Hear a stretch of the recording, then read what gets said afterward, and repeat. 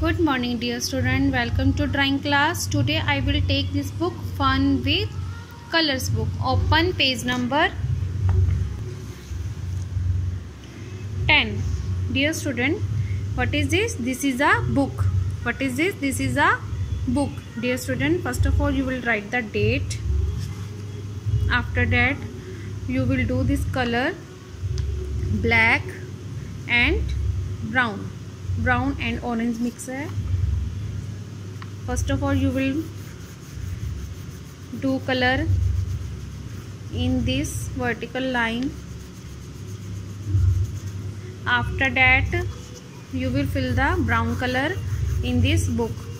And you do this work in your uh, fun with fun with colors book. And after that send it my personal number. Thank you